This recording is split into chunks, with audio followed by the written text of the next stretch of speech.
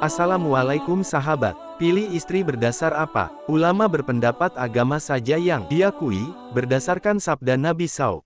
Wanita dinikahi karena agamanya, kecantikan, harta dan keturunannya. Maka pilihlah wanita yang taat beragama, maka kamu akan beruntung. Riwayat Bukhari. Ulama ada yang berpendapat keturunan dalam hal itu sama kedudukannya dengan agama. Begitu juga harta, dan tidak ada yang keluar dari hal itu kecuali apa yang telah ditetapkan oleh ijma, yaitu seperti kecantikan, bukan, termasuk dari kafaah. Dan setiap ulama yang berpendapat untuk menolak pernikahan karena ada aib, maka menjadikan kesehatan, termasuk dari kafaah. Berdasarkan hal ini, maka kecantikan diakui karena alasan apa pun. Ulama mazhab Maliki bersepakat bahwa kefakiran termasuk perkara yang menyebabkan batalnya pernikahan yang dilakukan oleh seorang bapak terhadap anak gadisnya.